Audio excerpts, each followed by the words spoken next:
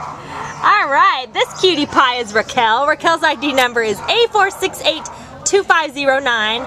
And Raquel is a miniature pinscher.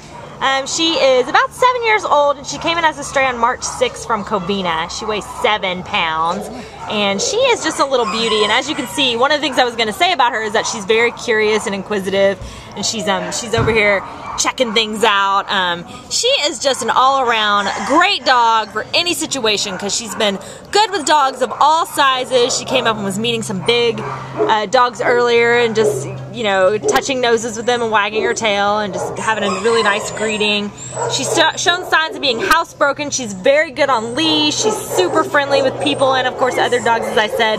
So she's just an all-around great gal. She's got um, she's really laid back but as being you know a miniature pinscher and uh, she's going to have a really good medium energy too, just a very curious and fun energy about her. So we think she's going to be great for a family. Um, she'll be good in an apartment or a home.